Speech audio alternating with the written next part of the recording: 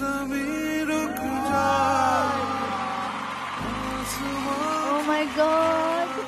कभी कभी ऐसे मौके आते हैं ज़िंदगी में जब मेरे अल्फाज जो हैं वो साथ नहीं देते। ये उनमें से एक ऐसा वाक्य है।